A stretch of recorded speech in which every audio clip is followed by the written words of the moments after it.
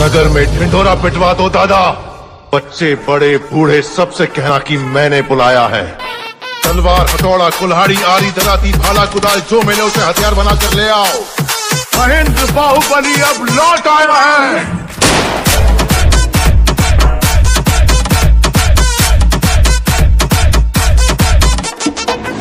क्या हुआ था, देवसेना? अंदर भेजने के बहाने वो सब पर हाथ डाल रहा था। तो उसकी उंगलियाँ काट दी। गलत किया थे उसने।